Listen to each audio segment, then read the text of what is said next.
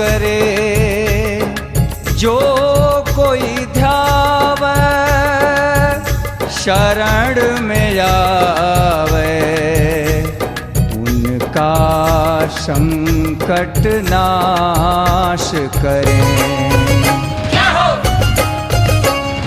सीताराम सीताराम सीताराम कहिए। सीताराम सीताराम सीताराम कहिए। जाइए